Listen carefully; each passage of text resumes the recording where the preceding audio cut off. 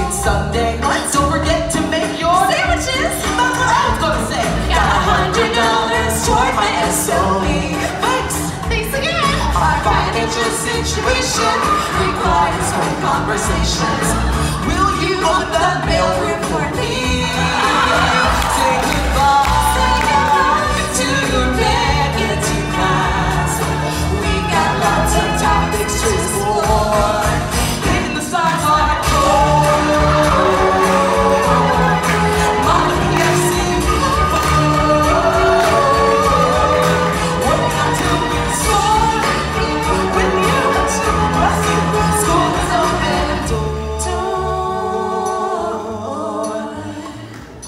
something crazy.